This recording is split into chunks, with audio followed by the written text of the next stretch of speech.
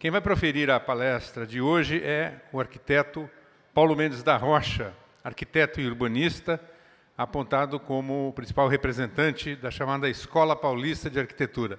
Só esse assunto já daria discussão para horas se existe Escola Paulista, o que é a Escola Paulista, o que foi. Mas Paulo Mendes é professor emérito da Faculdade de Arquitetura e Urbanismo da Universidade de São Paulo, autor do projeto do Pavilhão Oficial do Brasil, na exposição de 1970 em Osaka, autor também do projeto do edifício do MUBI, Museu Brasileiro de Escultura, em São Paulo, que lhe valeu a indicação para o primeiro prêmio Miss Van der Rohe de Arquitetura Latino-Americana em 1987, é autor da reforma da Pinacoteca do Estado de São Paulo. Eu vou citar apenas algumas obras, estamos entre arquitetos e a lista de obras do Paulo é imensa. É, em 1988, 93, do Centro Cultural da Fiesp, em 96, do Museu da Língua Portuguesa, em 2006, das novas instalações do Museu Nacional dos Coches, em Lisboa, e mais recentemente do SESC 24 de Maio, em São Paulo. Em 2006, Paulo Mendes recebeu o prêmio Pritzker, tornando-se o segundo brasileiro a receber essa maior honraria da arquitetura mundial. E em 2016, recebeu pelo conjunto de sua obra o Leão de Ouro da Bienal de Veneza e o Imperiale Premium do Japão, e neste ano a medalha de ouro do Instituto Real de Arquitetos Britânicos. Peço uma salva de palmas para o Paulo Mendes da Rocha.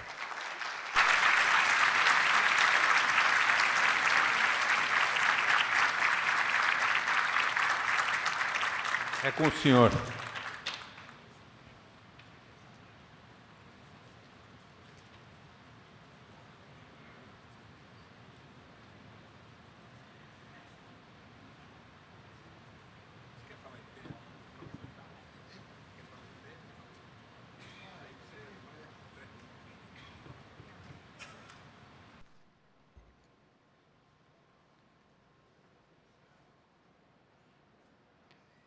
Está funcionando? Está se ouvindo bem? É uma alegria imensa estar na frente de tantos queridos amigos. Uma honra ter sido convidado para um momento tão extraordinário na vida da cidade e, e, e, e, de um modo em geral, na vida dos arquitetos. Eu saúdo tudo isso com muito entusiasmo. Faço votos que o trabalho nosso renda cada vez mais e digo, para iniciar essa conversa, cumprimentando muito especialmente o querido Haroldo, é, que o que eu ouvi nesse último episódio é, fecha, na minha opinião, já pode-se dizer que fecha a questão enquanto fundamental das nossas preocupações, a questão política e educação. Sem dúvida, é aí que está toda a questão da questão da cidade contemporânea, é, como o horizonte fundamental das nossas preocupações. É de se destacar a importância extraordinária da União Internacional de Arquitetos e do congresso que vai haver aqui sediado no Rio de Janeiro. É, para se saudar justamente como uma grande conquista nossa, é, ter conseguido que o Rio de Janeiro possa receber receber esse Congresso da União Internacional de Arquitetos. Porque, é, particularmente nós, americanos, temos quanto, quanto a essa questão do mundial e internacional uma extraordinária e peculiar responsabilidade enquanto revisão crítica da política colonial, que é aquilo que nos compete é, enquanto ideia de defesa dos ideais, defesa da arquitetura como forma peculiar de conhecimento. Antes de mais nada, queria dizer essa história de forma peculiar peculiar ao gênero humano. Nós somos arquitetos desde as origens, desde que arrumamos duas pedras, eh, desde que decidimos habitar cavernas, desde que decidimos sair das cavernas e, e constituir a horda e andarmos. Nós somos, é, nos constituímos, é, enquanto humanidade, é, como projeto de nós mesmos. E nesse projeto, nessa ideia de projeto, ou seja, projeção daquilo que temos na mente antes que se faça, surge a habitabilidade do planeta, da natureza, enquanto transformação dessa mesma natureza, porque ela por si não é pródiga em, em, em amparar a vida humana, ao contrário. Há quem goste de dizer mesmo que a imagem é melhor, é que a natureza é, antes de mais nada, um grande desastre, e, portanto, o nosso a, a, o habitat eh, no planeta é uma obra construída. Eis a importância da questão é, da educação e, e, e do, da arquitetura como forma de conhecimento. Na América, sem dúvida, estabelece-se desde já um horizonte de discussão, para não esquecer o tema União Internacional de Arquitetos, é, revisão crítica dessa política colonial que foi talvez, a responsável, ou é a responsável pelos grandes desastres do mundo até hoje, de um modo tão interessante do ponto de vista, mais uma vez, de questão mundial enquanto política, tão interessante quanto possa ser, que a Europa hoje sofre eh, as consequências daquilo que fizeram e da política colonial ela mesma. Enquanto colonizadores, eis que a França não sabe o que fazer com a Algéria, é uma tragédia. A Espanha com o seu Marrocos, a Holanda com a sua Sumatra, Bornéu, para não falar no Congo belga. E, e essa revisão crítica desse passado colonial consiste, essa revisão crítica, justamente na dimensão e no horizonte político daquilo que seria a nossa atividade fundamental hoje. Se falarmos em política, é evidente que a educação, como quem diz que política, vem da educação. Eu tenho a impressão que vivemos uma revolução ligada à ideia fundamental da revolução. É preciso não esquecer que essa União Internacional de Arquitetos não é outra coisa senão a consciência de que a questão é mundial, é de todo aquele que se considera humano e que habita esse pequeno calhau desamparado que gira no universo, submetido às leis da mecânica celeste e que nós habitamos de uma forma muito extraordinária, isso que aí está. Portanto, a política é a questão fundamental se imaginarmos uma revisão crítica desse passado colonial. É o que cabe particularmente a nós, eh, chamados americanos. Eu faço questão de, eh, ou não tenho escrúpulo de repetir, porque já falei isso muitas vezes, mas, como quem diz, para mostrar o quadro de monumentalidade dessa responsabilidade nossa, quando as pequenas e frágeis flutuantes caravelas de madeira movidas pela ação do vento, guiadas pelas estrelas, guiadas elas, essas naves fragilíssimas chegaram aqui no continente, que quem as navegava sabia muito bem o que estava fazendo. Quem dizia isso no plano teórico, na mesma data, era condenado à fogueira, o senhor Galileu. Portanto, contrariar dogmas, princípios é, é, erradamente estabelecido como verdades indiscutíveis é a primeira questão de qualquer ação política.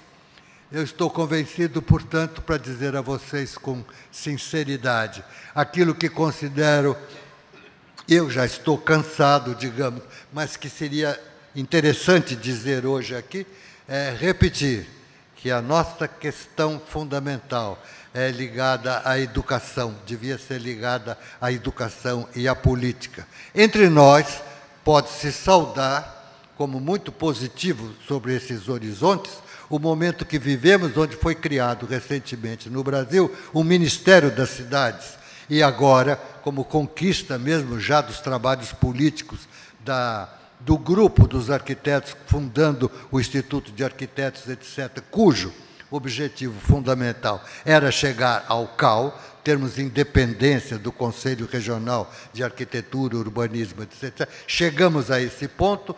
A nossa política tem objetividades quanto, tanto quanto possa ser, como quem diz, o futuro ministro, os futuros ministros da cidade terão que ser indicados pelo CAL. É nessa medida que parece totalmente viável a perspectiva de ação política enquanto cidadãos, não enquanto arquitetos especificamente, não uma política da profissão, mas uma política de cidadão consciente e mundial. Vamos preparar essa união, esse congresso da UIA no Rio de Janeiro com muito cuidado, para que seja de fato uma posição de solidariedade autêntica, mais do que qualquer outro ato, é, de política para transformar a rota de desastre em que está indo a cidade contemporânea. A cidade passa a ser, num certo momento da consciência humana, o habitat do homem.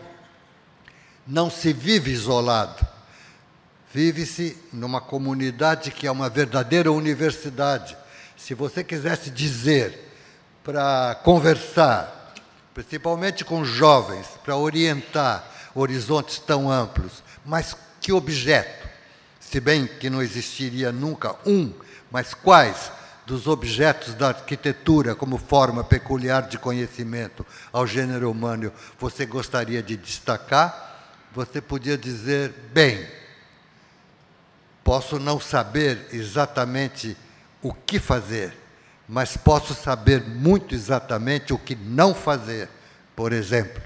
E por aí vai uma ideia de erro e acerto, experiência e, e, e, e, constatação, construção da história que torna perfeitamente capaz a parte técnica da nossa experiência em realizações objetivas de aspectos de transformação dessa natureza em relação aos altos ideais de constituição dessa universidade permanente que é a cidade contemporânea. Não sei se não cabe falando em União Internacional de Arquitetos, lembrar do CIAN e como tudo isso começou nos anos, primeiros anos, primeiras décadas do século XX, do século recém-passado. Lembrar que esse século XX, de extraordinários momentos de transformação da nossa história, é sem dúvida marcada pelo aquilo que o brilhante jornalista chamou os dez dias que abalaram o mundo, a Revolução Soviética, e lembrar que o construtivismo soviético lançou no mundo a ideia clara, no âmbito da arquitetura, do planejamento. Não se pode ver a arquitetura como a fabricação de edifícios como fato isolado, mas como transformação do território. Mais uma vez, é, a posição do americano fica é, ressaltada como muito importante e a revisão crítica do colonialismo para dizer temos que inverter essa rota do desastre. Temos que dizer que nunca navegamos nossos rios e temos que torná-los navegáveis. Só a parte brasileira dessa bacia hidrográfica da chamada América Latina é monumental. O sistema que do coração do país, do centro, é, corre para o sistema hídrico, para o norte, por exemplo, o sistema Tocantins-Araguaia, desse mesmo miolo do continente, o nosso centro-oeste, um outro sistema se forma, notável, fortíssimo, hidrográfico, que corre agora para o sul, o sistema dos rios Paraná-Uruguai. Os engenheiros sonham há muito tempo unir os dois sistemas com canais apropriados, planejados, de tal forma, dizem eles, os engenheiros brasileiros, criando uma segunda costa interior no Brasil. Nada mais brilhante para contrariar a estupidez do Tratado de Tordesilhas, quando dividiram a nossa América como quem corta um presunto, ignorando que um rio nasce num país, atravessa outro país, volta para um outro país para fazer, constituir esse sistema navegável, é, inclusive como nada de novo, mas baseado em experiências mundiais, como é a navegação do Ruhr, a navegação do Danúbio na Europa, o sistema Volga-Don, o mundo inteiro foi desenvolvido com a nave chamada navegação interior, aquela que traz o triunfo, a vitória, o êxito da navegação marítima para dentro do continente.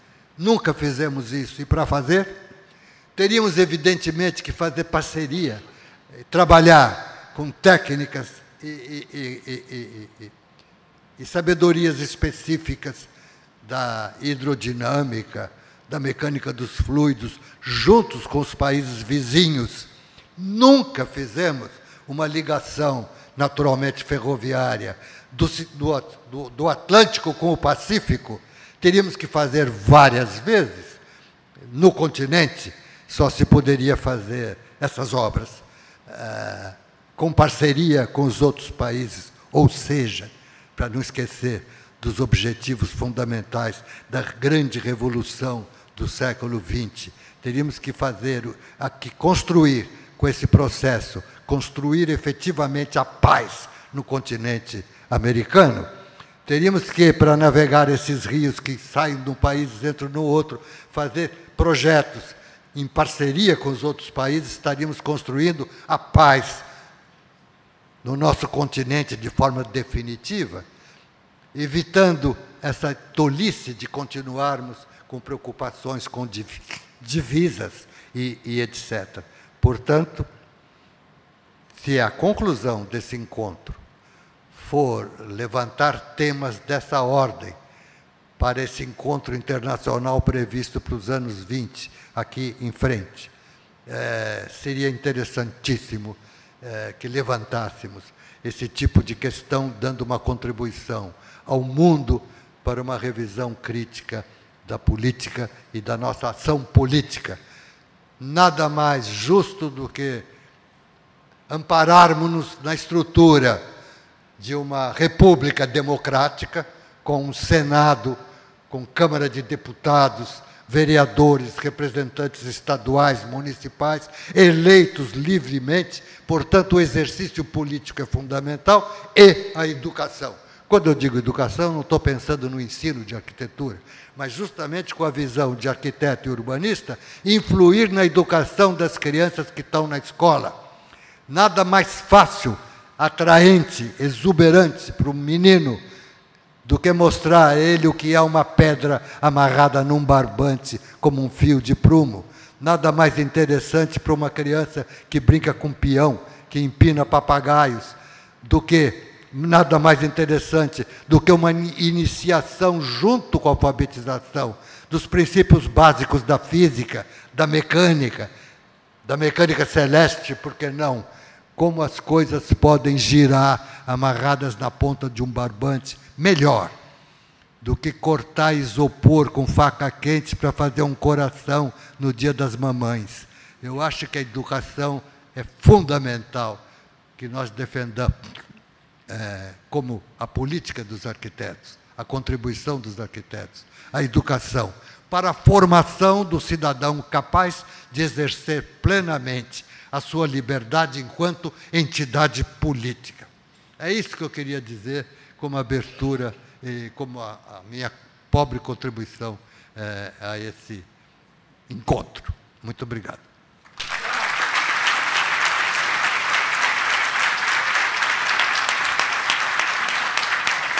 Obrigado, Paulo. É, gostaria de chamar o Raul Justilores, jornalista e colunista da Folha de São Paulo, que vai fazer a mediação da continuidade da conversa com Paulo Mendes da Rocha.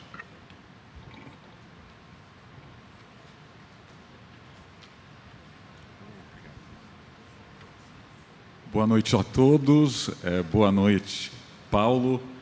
É, felizmente, o arquiteto Paulo Mendes da Rocha falou de cidadania e educação, porque a primeira pergunta que eu tinha a fazer não era sobre arquitetura. Então, o senhor me ajudou aí a, a criar o gancho da, da pergunta. Falando de educação e cidadania, no último mês, a gente teve protestos violentos contra uma performance de um artista nu no Museu de Arte Moderna de São Paulo. Tivemos um boicote uh, duro contra um banco que patrocinava uma exposição de temática LGBT em Porto Alegre. E temos uh, um candidato como Jair Bolsonaro em segundo lugar nas pesquisas uh, para a campanha presidencial do ano que vem. Por que a gente chegou a esse ponto? O senhor já deve ter visto outras ondas liberais e conservadoras, porque de alguma maneira a censura, o ata ataques a artistas e mesmo um discurso como o do Bolsonaro hoje tem força? Por quê? Eu não sei. Acho muito difícil você estabelecer um porquê. A situação é complexa, é preciso considerar que essa questão, você mencionou o nu, mas é preciso lembrar que a sexualidade move a nossa existência. Essa fratura, essa divisão incrível da nossa, na nossa existência entre masculino e feminino, e, e, e que é, é indescritível toda a poesia, toda a literatura, tudo que é filme, toda a dança, tudo que se possa imaginar de linguagem que o homem estabeleceu. Sempre falou disso com muita ênfase, quase que o assunto é esse. Essa atração indizível que temos um pelo outro e que não é uma atração exclusivamente sexual, é dentro da sexualidade essa atração mágica. Se você falar como homem, que é que talvez caiba tanto a você como eu, essa mulher, a primeira, é a nossa mãe. Você nasce frágil. É, a educação, mais uma vez. Não se lê o que devia se ler. Existe um, um, um linguista antropólogo. É, de origem vietnamita, que eu gosto muito, falo sempre, chamado Tranductal. Entretanto, foi professor na Sorbonne, escreveu tudo em francês, as coisas que ele escreve é uma maravilha. Sobre, por exemplo, é, essa indizível, esse indizível mistério, o masculino e feminino, com o qual temos que conviver, é, inevitavelmente, inexoravelmente. Daí política, educação, o que fazer com isso? Esse homem, posso me estender um pouco? Agora eu tenho que contar a história. Ele, entre outros trabalhos, tem algumas dissertações, o senhor Tranductal, muito lindas, muito extraordinárias, que ele fez, inclusive, escritos, com a consciência de que eram para ser lidos quase pode-se dizer por qualquer um, porque é um, horizonte extremamente delicado e complicado, o linguístico, antropo, antropo, antropo, antropólogo, etc. É, ele escreveu um, um, trabalho chamado A Tragédia Biológica da Mulher. Ele pôs esse nome de propósito, para atrair a tragédia biológica da mulher. Mas consiste basicamente no seguinte: quando o homem decidiu andar, o grupo humano, de uma caverna, por exemplo, esgota-se a caça, as razões, teve que organizar essa marcha. O pessoal é, e a expressão está bem, o pessoal, de um modo geral, toma a palavra horda como rebaixamento de valor. Não, a horda tem que ser organizada para essa marcha, esse deslocamento de todos. Bem, nesse deslocamento, nos poucos meses antes da mulher dar à luz aquilo que estava no seu ventre, ela não consegue acompanhar a horda. Porque, diz ele, assim como os cabritinhos, os filhotes de zebra, isso que a gente vê, é, já nascem andando, o nosso filhote também. Só que, nos últimos meses, a mulher, a mãe, ela não podia andar mais. E a mulher obrigou-se a dar à luz antes do tempo e pegar aquela frágil criatura nos braços para acompanhar a horda. Olha que beleza, mas não é uma fantasia, tudo isso comprovado com achados, etc, etc. Ou seja, eu estou dizendo tudo isso para um pequeno exemplo da questão da sexualidade entre nós. Ora, hoje se sabe, ninguém discute, que o planeta, esse pequeno calhau abandonado girando aí, não aceita superpopulação. Se nós projetarmos, como fazem a, a matemática permite, é, estatísticas, medidas no tempo. Quanto tempo mais a população do mundo dobraria, nós estamos, estaríamos extintos. Passamos a controlar a, a natividade, a controlar a nossa reprodução Muda a sexualidade completamente, muda as relações masculino e feminino, mudam as relações masculino e feminino. É isso que nós estamos vivendo, uma revolução violentíssima. Violentíssima no sentido da palavra, tanto enquanto velocidade da, da mudança, quanto no que está mexendo essa mudança, naquilo que para nós é essencial, nas relações masculino e feminino ao mesmo tempo em que queremos mais do que nunca ouvir a voz da mulher sobre as decisões mais importantes da nossa vida. Não se trata de igualar, tomara que sejamos sempre assim tão deliciosamente diferentes, mas nos ouvirmos de forma igualada, não fazer as mesmas coisas. E tantas maravilhas estão aí na nossa frente que nós estamos vivendo uma revolução muito extraordinária. Por isso, não é de espantar que apareçam artistas se pondo nus no museu. Afinal de contas, toda pintura está coberta de figuras nuas. O nascimento da primavera do, do maravilhoso Botticelli tem nuas e vestidas. É, é, enfim, do que nós estamos falando? Estamos descobrindo.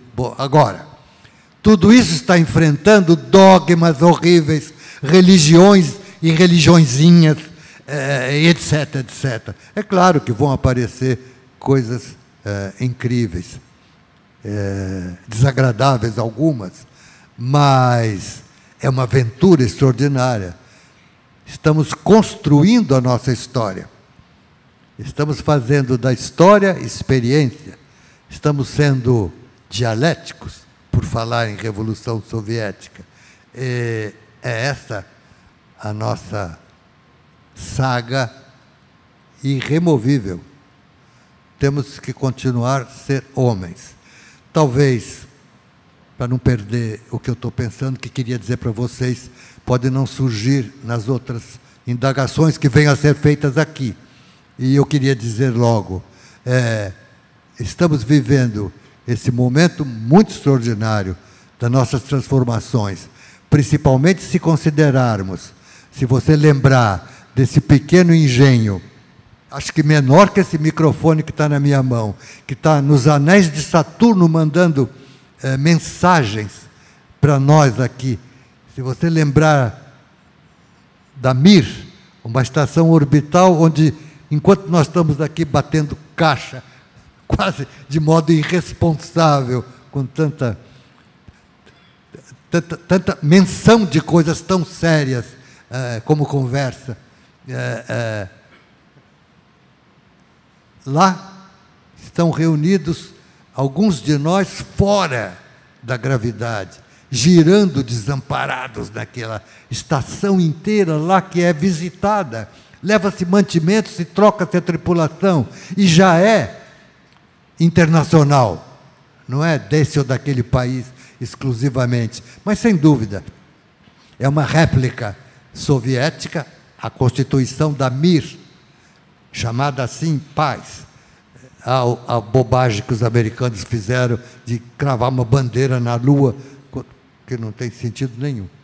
Então, veja você, se você considerar tudo isso, podíamos dizer serenamente, não como quem quer fazer bravata, que estamos já ensaiando a expansão da vida humana no universo. Nitidamente. Ora, você quer paz? Você quer tranquilidade? Não, é a grande agitação. Tomara mesmo que as crianças passem a mão nos nus, que se exibam nos museus, com toda a dignidade, a ingenuidade a curiosidade de uma criança, de um de nós. É, são fatos que vão estar aí. Temos que enfrentar. Não temos que ter uma opinião pré-fabricada.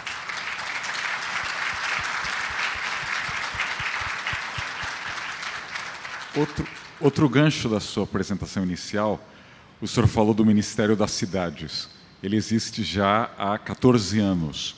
Na sua opinião, o que melhorou com o Ministério das Cidades, então de 2003 para cá, mas especialmente o que o Ministério das Cidades deveria fazer? Bom, é, é isso que nós vamos ver como o exercício de uma política adequada. Eu só quis dizer que é um horizonte político estabelecido a existência de um ministério. Ele, simplesmente criado, não resolve coisa nenhuma. Você perguntou, que acho que não fez nada até agora. Nem assumiu a responsabilidade, eventualmente, de fazer. Porque a grande questão que surge nesse encontro, que eu não sei se falei claro, e que se chamou estabelecimento do CIAN e depois da União Internacional eh, de Arquitetos, foi sem dúvida a Revolução Soviética. Tanto que, de Gropius a Corbusier, todos foram para lá. E lá se estabeleceu, no universo, no ímpeto, desse movimento revolucionário, aquele famoso movimento fantástico é, é, do construtivismo soviético, que e, teve como contribuição ao conhecimento universal principalmente a ideia do planejamento amplo territorial. Você dispor dos espaços, arquitetura não como o, o edifício forma isolada, mas como planejamento de todo o desenvolvimento do território, etc, etc. É isso que o construtivismo soviético fez. Por falar em educação, e aí seria lato senso, mas muito particularmente para nossas escolas de arquitetura, ler a obra de Anatoly Kopp, o famoso Ville Revolution. Lá está com uma clareza enorme justamente o surgimento da consciência sobre o planejamento territorial, para fechar a questão, na minha conversa, que está onde está contido uh, o horizonte da navegação fluvial, das ligações Atlântico-Pacífico. Porque uma rede de navegação intensa fluvial cria necessariamente inúmeras novas cidades portuárias fluviais que naturalmente não tem nenhum valor como transporte se não se intercalar, eh, interligar com uma rede ferroviária. E essa ferrovia, inclusive, que liga o Atlântico com o Pacífico, iria eh, solicitar necessariamente no seu estabelecimento a fundação de inúmeras novas cidades, todas com razão de ser, não com argumentos colonialistas para se fundar uma nova cidade. São cidades que surgem de uma estrutura de planejamento urbano. Eis o horizonte é, dessa nova cidade e, e do paradigma de cidades novas. transporte público. É impossível o transporte individual, o automóvel está aí no mundo inteiro condenado. O mundo está em transformação aonde? As nossas preocupações, particularmente com o conhecimento, a formação arquiteto e urbanista, tem uma importância enorme.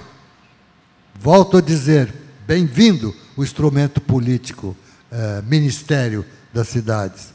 Bem-vindo o CAL. Eh, vamos exercer essa política eh, com força. O prefeito de São Paulo, João Dória, falou há duas semanas que São Paulo tem poucos ícones arquitetônicos e que precisava de novos ícones, novos prédios. O senhor acha que São Paulo ou outras cidades brasileiras, até porque a plateia não é paulistana, nós precisamos de mais ícones? Não, absolutamente. A, maior, a forma mais prática de desmoralizar a arquitetura é produzir edifícios isolados como ícones. Isso é uma tolice que não tem sentido algum.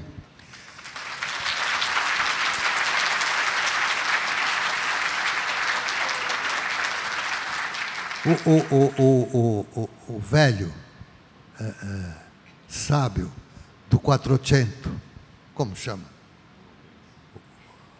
É, Paládio, já dizia em Veneza, no 400, a cidade da antiguidade, as cidades, as cidades do passado, eram feitas com monumentos. Eis que surge a monumentalidade da cidade. Isso em 1400.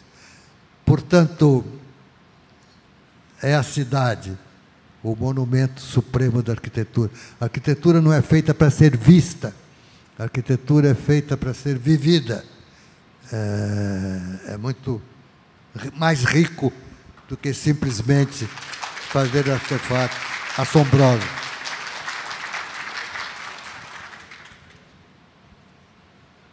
senhor recebeu os principais prêmios de arquitetura do mundo nos últimos anos. Eu queria perguntar que impacto esses prêmios causaram, não só na vida do seu escritório, mas justamente na relação com os seus clientes.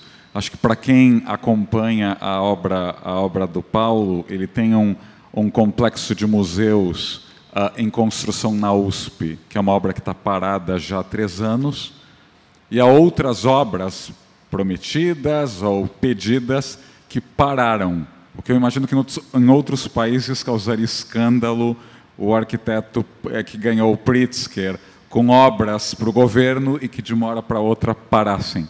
O senhor acha que os prêmios ajudam essa interlocução com o governo, com a sociedade, com a mídia, ou não fazem tanto, uh, não fazem tanta, não ajudam a fazer tanta pressão?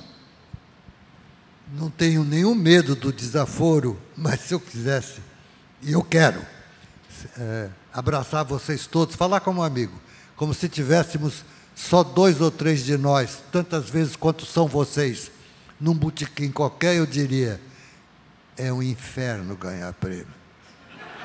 É a pior coisa que pode acontecer na sua vida. E não serve para nada nessas políticas e não adianta coisa alguma é muito difícil, muito complicado. Essas entidades que dão os prêmios têm que dar o prêmio todo ano. Então eles procuram e acabam achando sempre um pistolinha de plantão para receber o prêmio.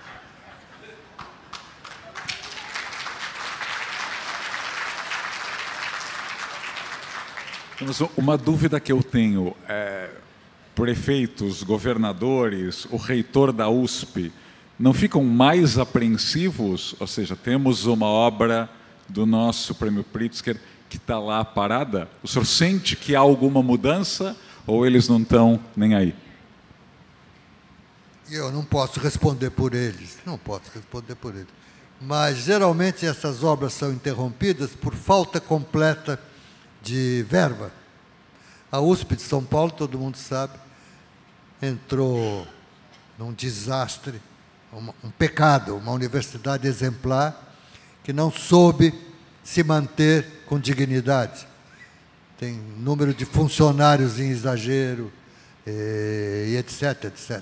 Uh, estabeleceu um carreirismo para a profissão de professor e deu no que deu.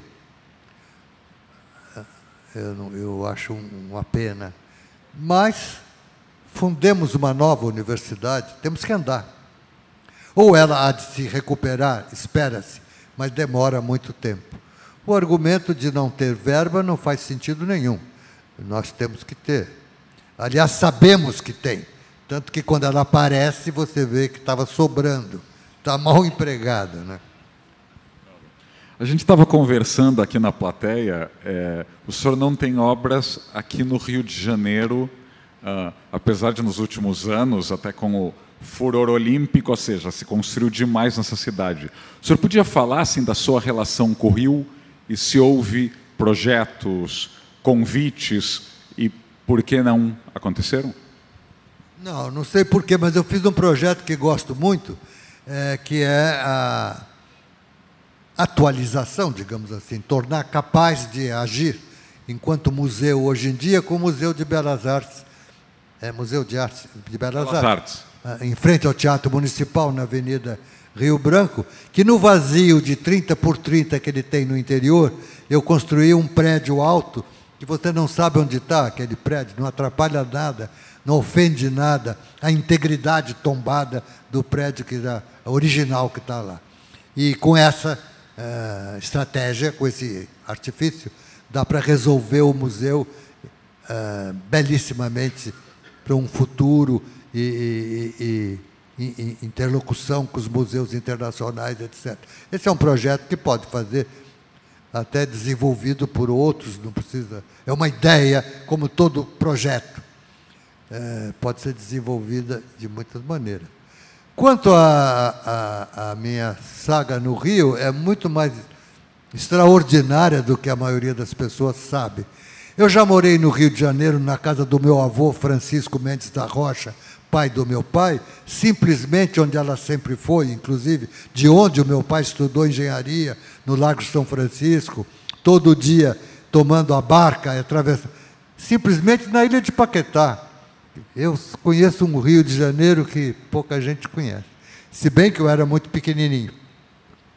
Depois voltei ao Rio, estudei dois ou três anos aqui, nos anos 40, é, 40 e poucos, durante a guerra, é, e coisas assim. É a minha cidade em grande parte. O senhor trabalhou recentemente em Portugal e na Espanha um conjunto habitacional em Madrid e o Museu dos Coxos em Lisboa. Podia contar um pouquinho dessa experiência? Bem, duas palavras. Na Espanha, convém comentar, porque é uma questão política muito interessante.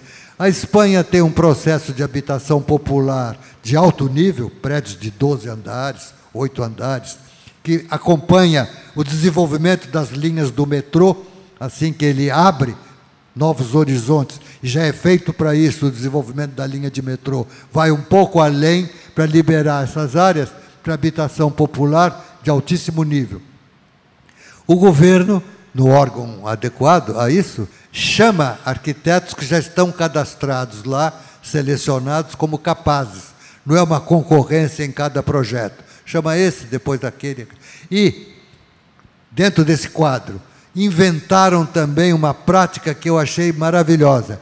Esse convidado tem o direito, se quiser, de constituir uma equipe com um colega estrangeiro que ele convida, o governo Portugal, eh, o governo espanhol, dá todos os direitos dele agir e trabalham juntos. Uma forma de interlocução com o conhecimento de outro lugar e pessoas desejáveis. Assim como as universidades convidam professor, etc. Eu acho uma estratégia extraordinária.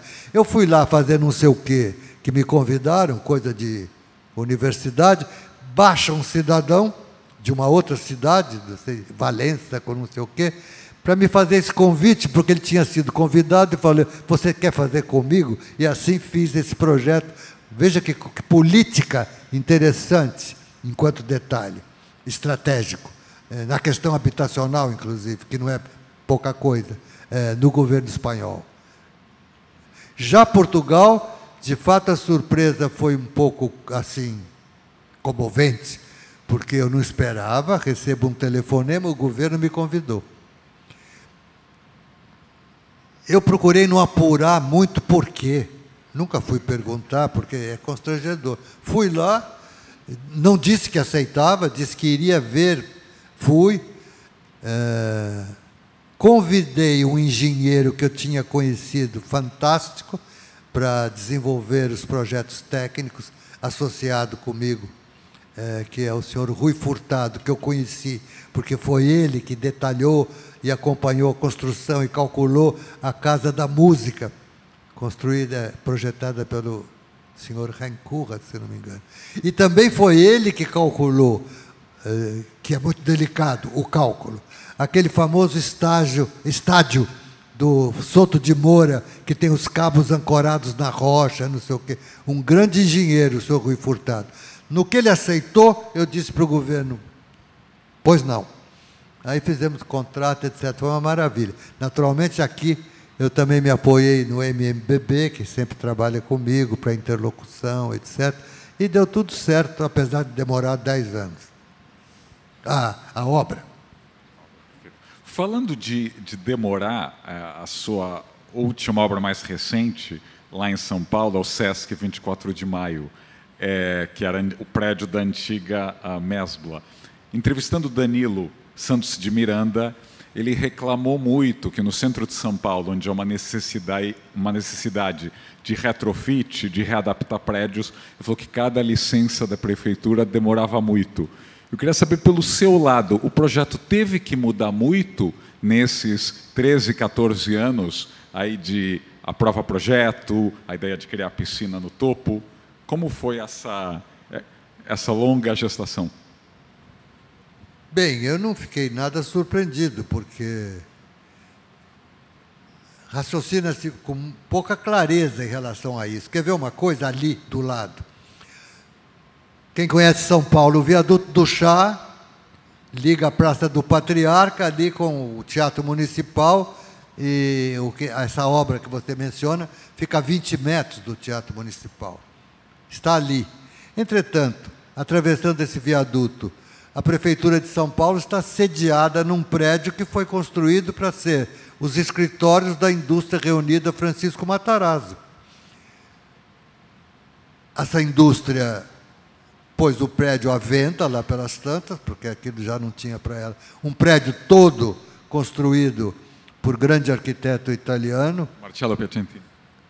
Marcello Piacentini. É, Piacentini, em travertino todo importado, um, um, um palazzo extraordinário, e que o governo comprou para pôr lá a sede do Banco do Estado de São Paulo, cujo Banco do Estado de São Paulo foi vendido para o Santander, mas não venderam aquele prédio dentro do patrimônio. Voltou para o governo e depois instalaram a Prefeitura de São Paulo. Ou seja, o mesmo prédio já foi banco, já foi sede do, da indústria Matarazzo, escritório. Depois Banco do Estado, do Estado e agora sede da Prefeitura Municipal. É a coisa mais corrente que existe numa cidade, é essa transformação. E no mundo, porque o palácio, não só do rei, mas de suas amantes e não sei o quê, por isso se estendeu tanto assim, chamado Louvre, em Paris, foi o museu mais, mais famoso do mundo durante muito tempo, antes da reforma. E depois reformado, etc., para ser a mesma coisa. O mundo sempre foi assim. É, a Bienal de Arquitetura de São Paulo começa em duas semanas. Sempre esse debate, essa Bienal de Arquitetura encolheu, cresceu, sendo importante ter bienais. Na sua opinião, é importante ainda ter bienais de arquitetura? E se é importante, o que elas deveriam mostrar? Bom, pode-se dizer, falamos tanto de política, que nesse nesse estatuto da política é importante. Não precisa ser a mesma coisa que sempre foi, porque não faz sentido de dois em dois anos você mostrar projetos de arquitetura, fotografia. Falamos de dois projetos que eu fiz, inclusive, que levaram sete anos, dez anos. Como é que de dois em dois anos? Mais. como um encontro internacional e debater questões, as bienais podem, pouco a pouco, se transformar nisso. Acho interessante. Reunião internacional, mais do que nunca hoje em dia, é muito importante. E o que elas deveriam, então, expor ou discutir? Por exemplo, a Bienal de Arquitetura de São Paulo. O que ela deveria mostrar para a sociedade? Pode, não sei. Aí eh, cada Bienal tem os seus curadores, eles podem destacar algum assunto, até para mostrar alguns projetos, estudos, etc, etc. Né? Se o senhor fosse convidado amanhã para ser o curador da Bienal de Arquitetura daqui a dois anos, o que o senhor gostaria de mostrar aí como curador numa Bienal em São Paulo? Uma cartinha muito gentil dizendo que não aceito. Boa. Aliás, antes de começar as perguntas, quem, é, quem quiser dar uma olhada no projeto do Paulo Mendes da Rocha em Madrid e dos outros arquitetos, é a Coab Municipal de lá, empresa municipal de Vivienda e Suelo, que fez e tem lá os projetos, os arquitetos, vale a pena. Há várias perguntas de internautas, e o problema de chamar jornalista para mediar debate, é que a gente só faz as nossas perguntas, então vou tentar aqui me penitenciar e ler a dos internautas. Tem pergunta da Laura Machado, de Porto Alegre, que é arquiteta. O que o senhor tem a dizer sobre a ênfase dada aos projetos de revalorização do espaço público? Pode-se dizer que é uma linguagem brasileira?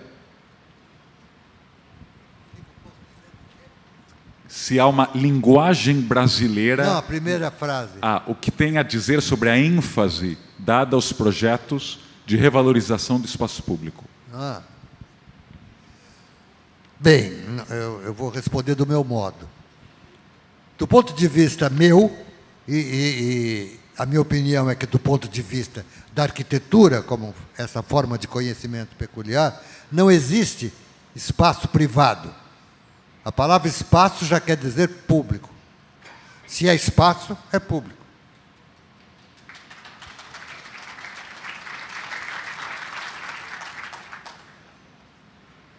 Seu filme, aliás, o filme dirigido pela sua filha, sobre a sua obra, a sua vida, aliás, o filme tem vários, uh, várias camadas, se chama Tudo é Projeto. Segundo ela, uma frase chama que tudo é projeto. Ah, tudo é projeto. Queria perguntar como surgiu essa frase, em que situação ela ouviu falar que tudo é projeto. Bem, é o que eu penso da minha formação, tudo é projeto. Tudo que você faz, você projetou antes. Acho impossível você fazer qualquer coisa que não seja projetado na sua mente antes, não é? Tudo é projeto. É literalmente isso que eu quero dizer. Não há nada que nós façamos que não seja projeção da nossa consistência mental, psicológica. Inclusive o que parece sem projeto. Hein? Como, inclusive o que parece sem projeto, como tanta coisa ao nosso redor. Sim, parece que não é, mas é projeto, é evidente que é projeto. Tem uma pergunta de uma estudante de arquitetura de São Paulo, a Laude Cortonese. Qual é o futuro do profissional de arquitetura no Brasil em vista das novas tecnologias e das casas inteligentes? Das casas inteligentes. Essas casas é em onde tudo funciona, a porta, a luz, robozinho, etc.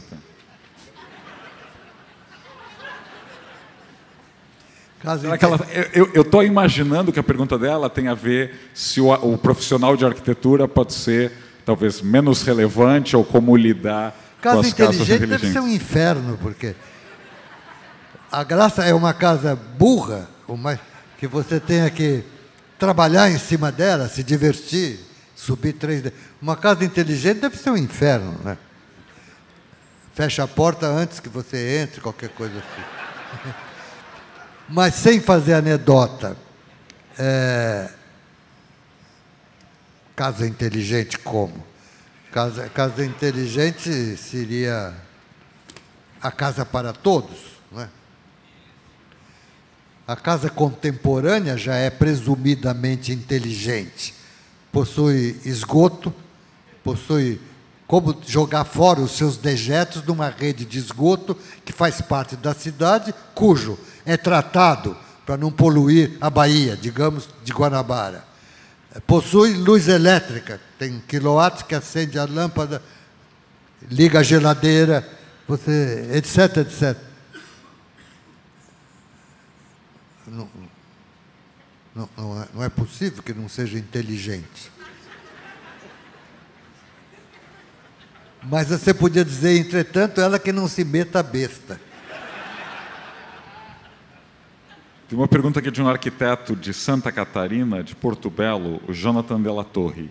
Ele pergunta se inovar na arquitetura e no urbanismo é apenas criar algo novo, inédito, ou transcende, vai além disso? Não, não vejo muita razão de inovar. Hoje, vejamos o que foi dito aqui hoje, não só na minha fala, mas na anterior principalmente, porque eu ouvi e posso, portanto, dizer isso, principalmente, que foi muito interessante o encontro anterior a esse que nós estamos aqui agora. É, é tudo coisa que temos que fazer, não está nada previsto antes, não é? Como é que é o fim da pergunta? Inovação, é, se uh, inovação é apenas criar algo novo não. ou se transcende vai não é além é, disso. Muito mais do que criar algo novo, é realizar antigos e, e, e, e estruturar, estruturados sonhos de toda a humanidade. Não. O arquiteto não faz uma obra para si, faz para a humanidade. Né? O senhor falou do carro e é interessante pensar que tanto na campanha a prefeito de São Paulo no passado, muito se falou de bicicleta versus acelera, e muitas cidades no Brasil hoje ainda continuam privilegiando o carro, é, continuam privilegiando viaduto, ponte, túnel, condomínio fechado. O senhor acha que a sociedade já se tocou que o carro está nos cobrando um preço muito alto? Ou o senhor acha que são os políticos, ou talvez o mercado imobiliário, que ainda não perceberam essa mudança? Ou seja, quem ainda, ou seja, cidades brasileiras ainda estão, de alguma forma, sendo ditadas pelo uso do carro? Bem, o transtorno do carro, etc., já está muito falado, todo mundo sabe do que se trata, não anda e coisas assim. Mas o grande mal do automóvel, que pouco se com, comenta, é a desmoralização com o próprio indivíduo humano. Esse cretino que fica dentro do carro, com o trânsito parado, falando no celular e achando tudo muito bom ouvindo rádio, é, carregando com motor a explosão. O automóvel é movido a um motor que chama-se motor a explosão. É, uma, um corpo que tem 60, 70 quilos e 800 quilos de lataria para ir para casa almoçar e volta depois. É uma estupidez tão grande que o pior dos males é a desmoralização do próprio indivíduo. Está educando idiotas. Né? Eu já vi, inclusive, nessa situação, estava num táxi assim, é, no carro da frente parado, o trânsito não anda, abre o vidrozinho e joga um papelzinho qualquer de um sorvete, uma coisa que ainda estava chupando, e fecha o vidro de novo. Como quem diz, lá fora, seja o que Deus quiser, o negócio é aqui dentro, ar-condicionado e tal. É uma estupidez muito violenta. E acho que o automóvel está condenado no mundo inteiro hoje. O transporte individual não faz sentido numa cidade. Porque ele tira, inclusive, a liberdade. Você vê, um camarada, posso falar um pouco? Um camarada que conta no seu trabalho e na sua casa, entre moradia e local de trabalho, conta, ele e a família, vamos dizer assim, os companheiros, uma hipótese, tem mulher, tem filhos, estudam em escolas, contam com transporte público, o que acontece antes de mais nada com esse indivíduo. Ele tem uma imensa liberdade, inclusive do gozo da própria cidade. O que eu quero dizer? Faz de conta que eu sou cineasta, vamos fazer um roteiro de um filme. Sai do trabalho às seis da tarde. Ali adiante, passa o metrô que vai levá-lo para casa. De três em três minutos, ou de dez em dez minutos que seja. Ele não tem nenhuma preocupação de chegar logo em casa. Ele vai até a esquina, senta numa mesa para tomar uma cerveja e encontra quatro ou cinco amigos. Um dos amigos puxa o assunto que no teatro tal está se levando a peça não sei o quê. Começa às nove, acaba às onze. Ele pega o celular liga para a mulher, pergunta se ela não quer vir. Ela ainda toma uma cervejinha, depois vão ao teatro. Depois toma o metrô, volta para casa. Isso é um gozo da cidade. Extraordinário. O outro está lá, trancado no carro ainda. É, é incomensurável a questão do desastre do transporte individual. Numa, a cidade presume o transporte público como virtude, não como meio, como se faz com laranja para jogar na máquina para fabricar suco. Não é isso. Não é para levar gente de modo amorfo daqui para lá. É um grande privilégio você sentar num trem ou no metrô, o trem urbano, e ler um jornal, em vez de ficar, etc, etc. Portanto, é, é, é, é um projeto que temos na mente que haveremos de conseguir ampliar as redes. São Paulo é uma cidade pelo tamanho que tem. Primeiro, São, não devia existir uma cidade com 20 milhões de habitantes. São Paulo é assim porque o Brasil, atrasado, só tinha emprego em São Paulo, etc, etc. Todo mundo sabe disso. É uma aberração já, uma cidade de qualquer modo. É, teria que ter uma rede de metrô de 200, 300 quilômetros. Não chega a 70 até hoje, já passa. Ou seja, não se investe na construção da casa do homem, do habitat humano, que de fato é a cidade. Não se trata de verde, essas besteiras também, porque para nós é impossível ver a natureza como paisagem. Para nós, a natureza é um conjunto de fenômenos mecânica dos fluidos, é, ventos, é, etc. Água, penetração, solos, mecânica dos solos. É, o sítio da cidade, montanha, beira-mar, transformações é, é uma profissão e tanto, e não é privilégio nenhum, porque aí está a engenharia, a medicina, indispensáveis. Não podemos abarcar tudo. A arquitetura é uma forma muito interessante de conhecimento, peculiar ao gênero humano, como já comentamos. Mas convém lembrar o que se diz, um professor brilhante disse e ficou como paradigma da nossa FAO, da USP, lá em São Paulo. É impossível ensinar a arquitetura, mas pode-se educar um arquiteto. É muito interessante essa reflexão. Aliás, fala-se em escola paulista, a essência do que seria uma escola paulista é essa. Não tem nada que ver com concreto aparente, brutalismo, e tudo é frescura. É superficialidade, besteira. Desculpe, é bobagem. Que obra de arquitetura hoje o emociona ou que outros arquitetos o senhor faz questão de acompanhar, de seguir, que ainda provocam esse gosto, essa surpresa? Ah, sim, às vezes algumas obras podem te provocar grande emoção. Essa Casa da Música, mesmo no Porto, do, do senhor Rencourt, eu gosto muito daquilo. Mas, de um modo geral, como fato isolado assim, a arquitetura não me impressiona muito. Eu acho interessante mesmo a questão do planejamento, que, para voltar ao encontro com a UIA, a importância da União Internacional de Arquitetura, da descoberta, da revelação dos construtivistas soviéticos sobre planejamento, convém lembrar as coisas, por exemplo, ensaiadas Corbusier fez projeto para Argélia, projetos muito interessantes.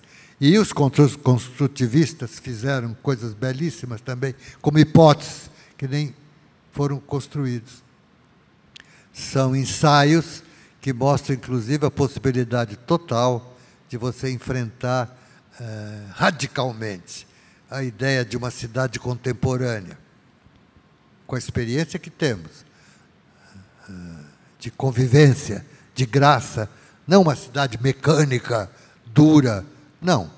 Uma cidade com muito bar, botequim, teatro, cinema, escola, etc, etc, etc.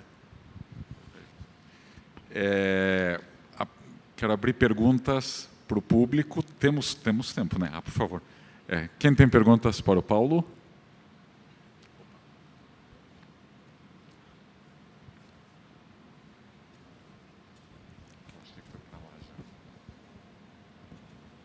Eu peço só se poderia ficar em pé. Isso, ó, por favor. Boa noite, professor. Eu sou o Pedro, eu sou aluno de arquitetura. Não está funcionando. Está funcionando. Boa noite. É, Paulo, meu nome é Pedro, sou estudante de arquitetura da FAO UFRJ e diante a contemporaneidade da cidade, eu e meus colegas, a gente se vê muito ansioso e muito preocupado com o que a cidade está se tornando. E recentemente eu fui na obra é, inaugurada, o SESC 24 de Maio, projeto seu com o MBB, e me surgiu um, me tocou muito a obra em relação a como é, essa arquitetura ela me comoveu e como a cidade pode vir a se tornar, pode vir a, a, acontecer, né? Um, um, edifício que já existia que se torna outro, um edifício, é, enfim, readequado às, às novas propostas da cidade. E eu queria saber é, se esse edifício, se o SESC 24 de Maio, ele tem um potencial para surgir como um novo, uma nova proposta, um novo caminho para a cidade contemporânea.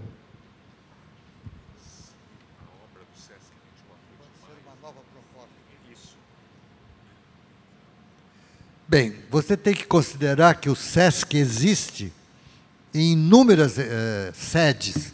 São Paulo tem vários SESCs. A virtude é do SESC. Ele faz instituições, constrói, como se fosse clubes ou recintos onde o comerciário, que é o, benfe... o, o, o beneficiário dele, é, pode é, comer, é, ler, tem biblioteca, restaurante, teatro, etc, etc. O que não era de se esperar é, fazendo no centro da cidade, o que fizeram muito bem, tivesse piscina. A proposta foi minha, eh, pensando eles não vão topar, no sentido não vão enfrentar, no sentido de eh, difícil, custo, uma carga enorme lá em cima, etc. Mas eles aceitaram e fizemos. É preciso perceber que uma piscina que seja um metro de profundidade, cada metro quadrado teria um metro cúbico de água posto lá em cima. É claro que a estrutura do prédio não aguentaria, fosse que prédio fosse. Esse prédio tinha um vazio interno de 14 por 14, o que se chama poço interno. Nós fizemos em cada canto desse quadrado, porque era um quadrado perfeito, um novo pilar que foi lá embaixo. Permitiu, escavando lá embaixo, nesse miolo, o teatro, que não pode ter pilar, que o resto do prédio todo é cheio de pilar. E lá em cima, além de um balanço a partir desses 14, porque só a parte de água da piscina tem 25 por 25. Portanto, é o vão de 14 mais um balanço para cada lado, nos quatro sentidos. Nos dois sentidos, é, norte, sul, leste, oeste. É, e fizemos a piscina, etc. Portanto, o mérito é do SESC, porque tem a sua graça, para mim teve uma graça particular, porque eu fico vendo todo cara que tem dinheiro compra cobertura, manda fazer uma piscina. Eu falei, eu vou fazer uma piscina para os moleques office boys do centro da cidade, no teto aqui, ó. o outro fica lá trabalhando no prédio vizinho, batendo a máquina, e os moleques vão ficar nadando. Ainda pode cuspir uma aguinha assim. Não, essas imagens passam pela minha cabeça. E me dá um prazer enorme. Eu, eh, eu não tenho prazer em ficar fazendo arquitetura, não é? Não faço para me divertir. Mas certos aspectos dá um grande prazer. Esse projeto eu tive dois grandes prazeres. Esse da piscina e o primeiro foi no dia que eu fui visitar aquilo com eles, os, os chefes lá do, do SESC, me convidaram e, e disseram do que se tratava e vamos ver o antigo prédio, etc.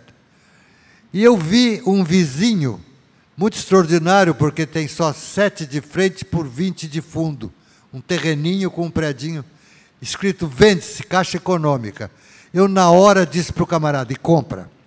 Porque eu vi logo que ali podia ser feito todo o apoio, eh, podia ter dois andares, que é só tanque de água é, máquinas para ar-condicionado, refeitório, é, é, refeitório não, desculpe, sanitários e vestiários para os funcionários. São 300 funcionários, que você sabe antes, que, que o programa exige.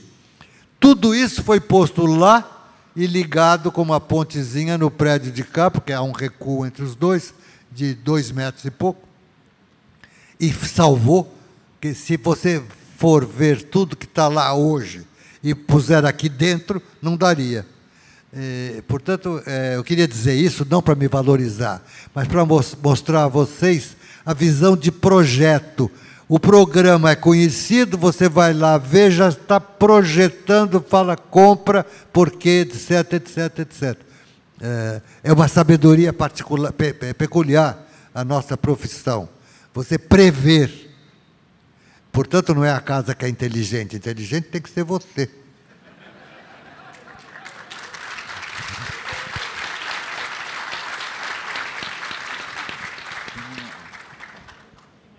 Bom, é...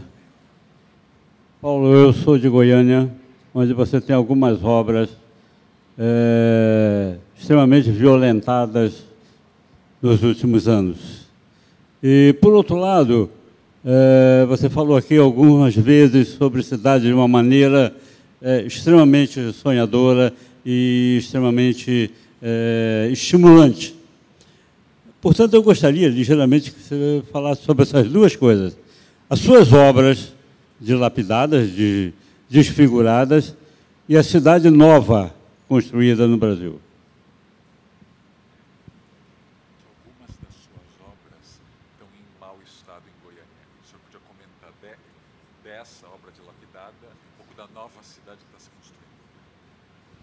Goiânia, olha, não posso comentar muito, entretanto, eu posso te dizer que não acho que as coisas que se faça devam ser eternas. Eu não tenho muita preocupação com. Entretanto, o estádio Serra Dourada não gostaria que mexesse, e acho o que já se fez lá uma tolice, porque é, esse órgão internacional do futebol, como é que chama? Ele mu mudou as arquibancadas para poder fazer aquela propaganda que é, para ter lucro, uma coisa estúpida. Não deviam ter feito coisas assim. Os governos não deviam aceitar. Mas com isso, essa, essa, essa, esse organismo internacional põe o estádio fora dos programas. É uma ameaça violenta. Já o Jockey Club é uma área enorme que, fica, que ficaria no coração da cidade, cuja foi crescendo e, no entorno, talvez não fosse o caso de manter aquele vazio. É, é uma coisa justa de se mudar. Não, não vejo grande mal, não acho que obra de arquitetura deva ser eterna. De hipótese nenhuma. Gosto das transformações aliás, gosto, admito perfeitamente que a cidade se transforme. A cidade é nova a cada dia. Essa é a pura verdade. Uma cidade densa, como todas elas são, eu digo densa porque você pega uma cidade como Paris, é nitidamente dividida de uma parte antiga, que não tem prédios altos e uma, uma nova cidade com os prédios altos, etc. É diferente. Mas para nós que tudo é novo, nossas cidades são todas novíssimas, 400 anos da descoberta da, não é nada. Nossas cidades têm 100 anos, efetivamente. É, é muito difícil você imaginar demolir aquilo tudo para fazer o novo. Ela será muito transformada, nem tem onde se pôr aquele entulho. Vocês vejam, em São Paulo há um exemplo muito claro dessa dificuldade muito específica. Eu não sei o que fazer. Aí que está. Não sabemos. Temos que discutir. A, a inutilização, digamos assim, dos elevados onde passam os automóveis. É impossível demolir aquilo, você não tem onde pôr aquele entulho, nem como tirar aquilo de lá. Então eu fico inventando moda de transformar num jardim aéreo. É pior ainda, é uma coisa ridícula. Você ficar regando lá em cima do concreto cenoura, não sei o quê. É um desastre mesmo, teria que se enfrentar a demolição daquilo, mas não é brincadeira. Agora, aqueles prédios todos, é impossível. Como transformar aquilo, eu não sei bem o que fazer. Como será? Se o Brasil se desenvolvesse como se imagina, a população não cresce no mundo pela consciência que levantamos aqui. Suponhamos que estejamos de acordo com tudo isso. Uma cidade como São Paulo, construindo-se as outras, no interesse do trabalho humano, com os novos portos fluviais, as novas cidades junto às ferrovias e mais outros projetos, idealmente concebidos no plano dessa América tão, tão desastradamente colonizada. É, o que seria dessas cidades, do pré-existente nas cidades? demolir, você vai criar um solo estéreo embaixo, para tirar o dejeto, os escombros. Dali mesmo, por aonde, tanto faz, você vai, não nasce mais, não é mais um solo vegetal. O que será que se faria? Será que um prédio pode ficar com a sua estrutura, é, abre-se as paredes e deixa aquilo para os pássaros?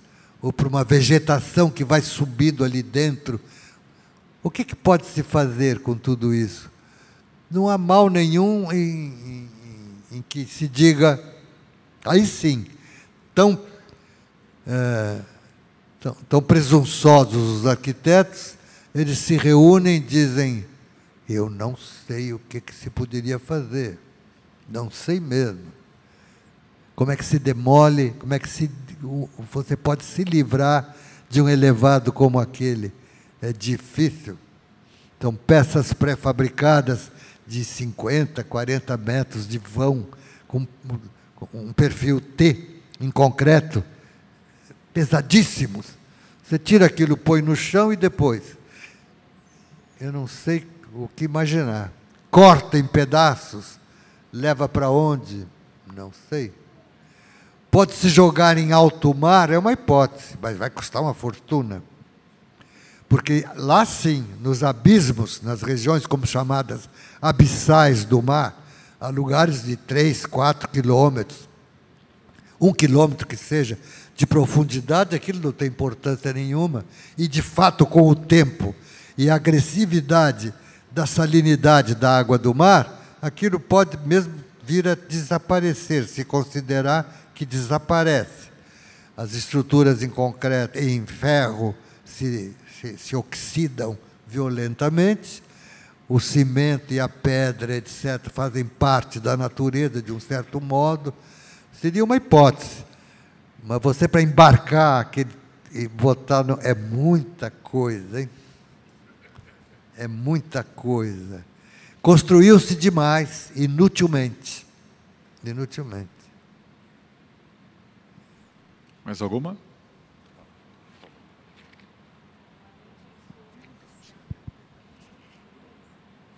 Melhorou? Tá, tá jóia. Luciana Nemer, Universidade Federal Fluminense, acompanha a obra Cais das Artes, em Vitória, desde 2013. Né? Tive uma exposição no Museu da Vale, em janeiro de 2013, pude conhecer melhor a obra como panorama e comecei em 2013 a visitar a obra do Cais das Artes. Então vi a obra no auge, né, com muita verba, é, com a construtora Andrade Valadares, depois Santa Bárbara, a troca das construtoras, e visitei a obra em 2014 e agora recente em maio. Então, é, eu queria ouvir do Paulo um pouco sobre essa questão da obra paralisada. Existe a, a posição do Estado, né? A, a, a, notícia que eu tive é que o teatro se finaliza em um ano e o museu em dois.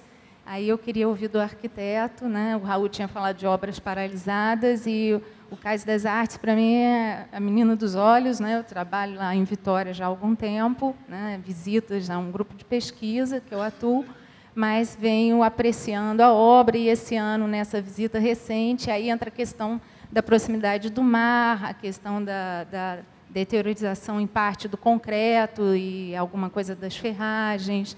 Então, o que vai ser feito, se vai ser adaptado a respeito do projeto também, né, as soluções técnicas que em 2009, 2010 eram top, né, se vão ser revistas, enfim, ouvido o arquiteto sobre o Cais das Artes hoje.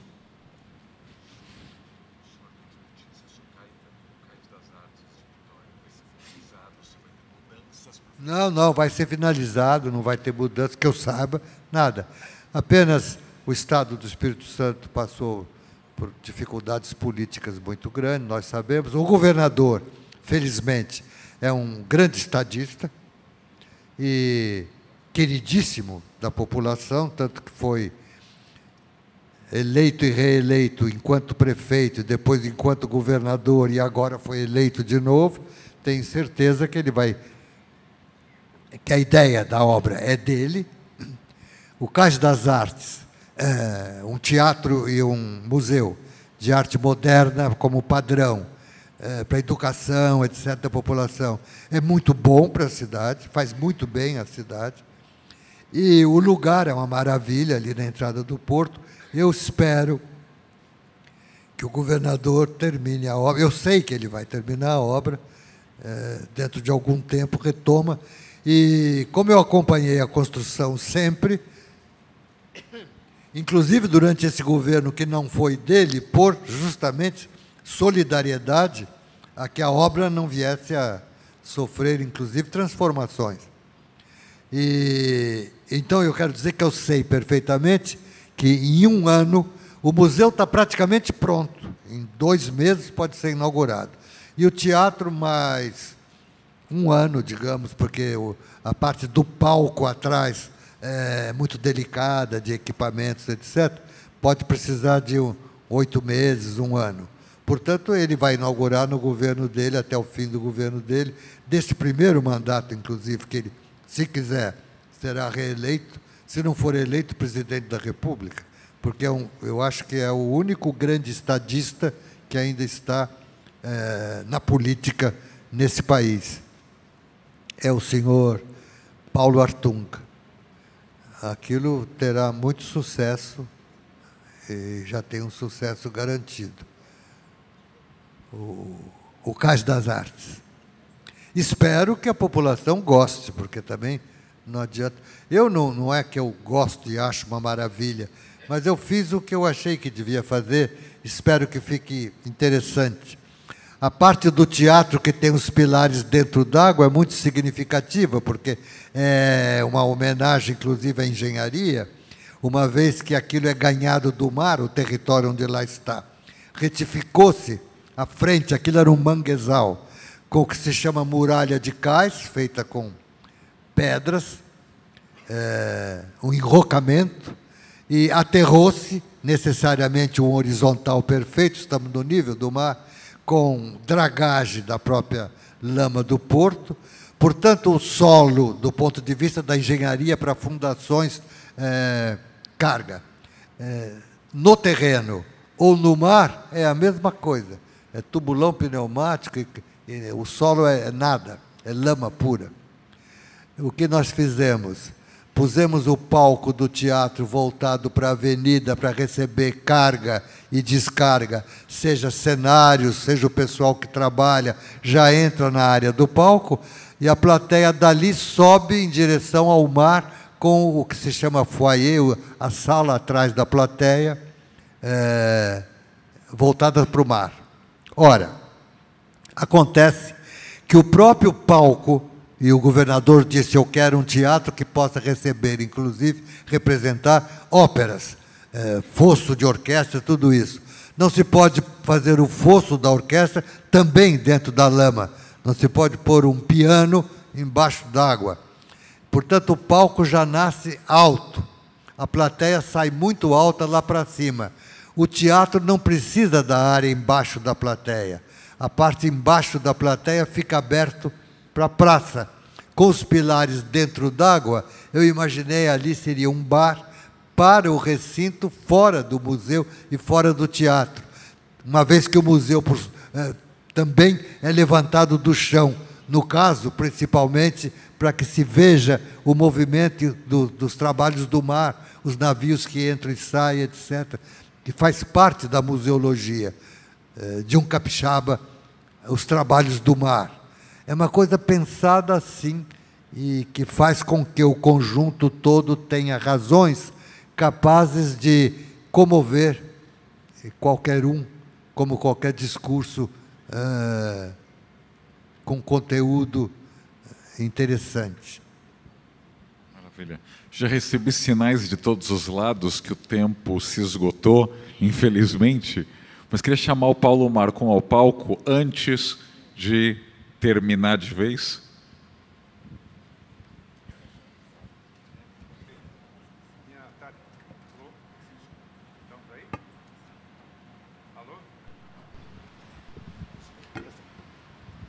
A minha tarefa é simples, é convidar o presidente do CalBR, Haroldo Pinheiro, arquiteto e urbanista, para prestar uma homenagem em nome do Conselho ao Paulo Mendes da Rocha.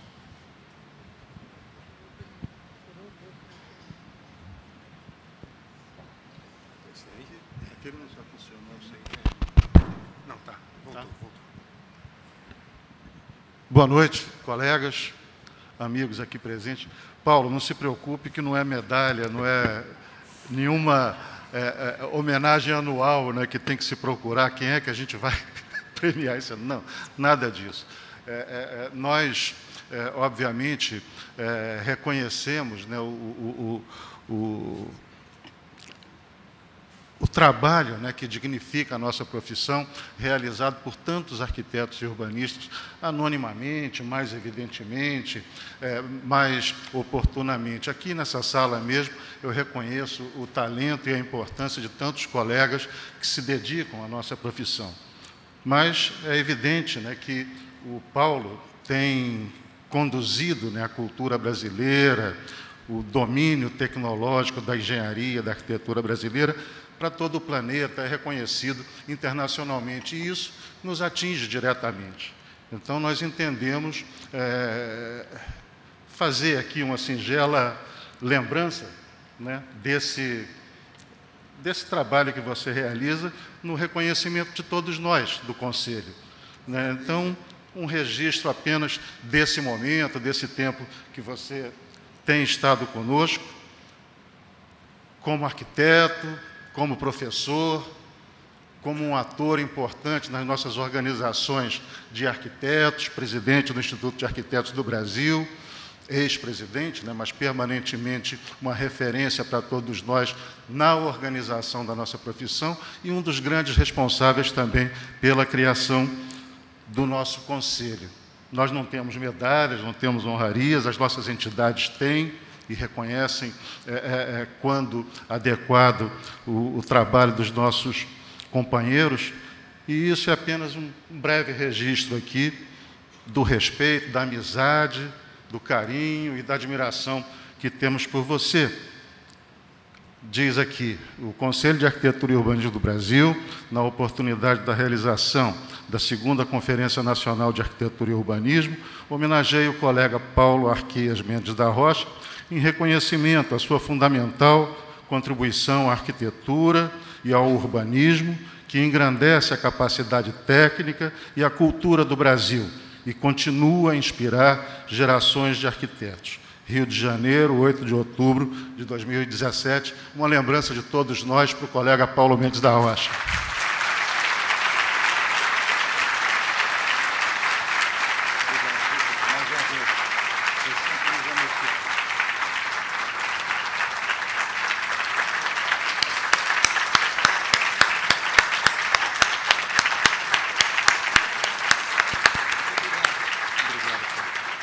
Obrigado e eu deixo meus cumprimentos muito especiais ao ilustre Haroldo, porque se estamos orgulhosos e, e esperançosos com esse fantástico encontro internacional da, da, da UIA, em 2020, tenho certeza que devemos a você essa conquista. Aqui é o Sérgio, ali, o, sim. o Simão. Simão, sim.